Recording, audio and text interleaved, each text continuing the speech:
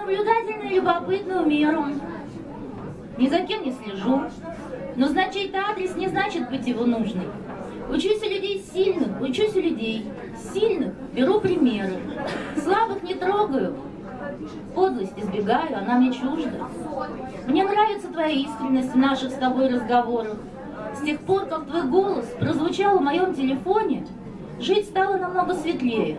Я забываю о бедах и бережно искру надежды сжимаю в ладонях.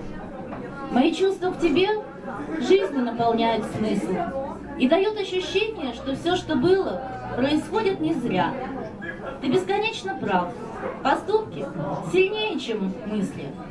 Спасибо тебе за тепло этого декабря.